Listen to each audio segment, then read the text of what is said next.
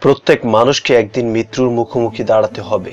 মৃত্যুর হাত থেকে আমাদের দিনের নবী হজরত মেহম্মদ সাল্লাহু আলহি ওয়াসাল্লাম তিনিও রক্ষা পাননি।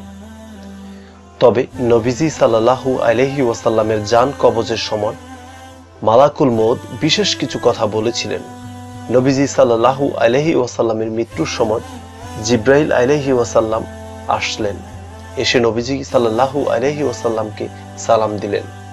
আর বললেন, হে আল্লাহ রাসূল, আল্লাহ আপনাকে সালাম দিয়েছে আর জানতে চেয়েছে আপনি কেমন আছেন। আল্লাহ সবকিছু জানেন, তারপরও আপনার মুখ থেকে জানতে চেয়েছেন। আপনি কেমন আছেন? নবীজি বললেন, আমি বড়ই কষ্টের ভিতর আছি, অসুস্থ আছি।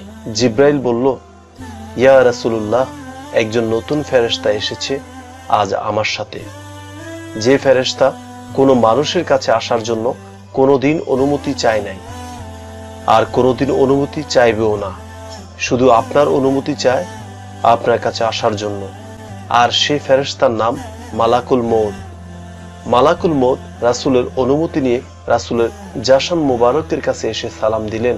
বললেন, ইয়া রাসূলুল্লাহ, আদম সালাম থেকে শুরু করে এ পর্যন্ত আমি যত মানুষের যান কবজ করেছি, আর কেমত পর্যন্ত যত মানুষের যান কবজ করব কারও কাছে অনুমতি চাইনি আর চাও আমার লাগবে না।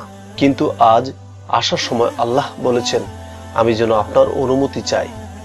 নবীজি বললেন, মালাকুল মৌত আমি যদি অনুমতি না দিই? তখন মালাকুল মৌত বললেন, আপনি যদি অনুমতি না দেন, তাহলে আল্লাহ তালা আমাকে ফিরে যেতে বলেছেন।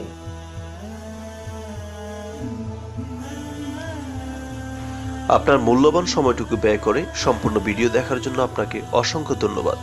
আর ভিডিওটি যদি আপনার নিকট সত্যি ভালো লাগিয়ে থাকে, অবশ্যই আমাদের চ্যানেলটি সাবস্ক্রাইব করে আমাদের সঙ্গে থাকবেন।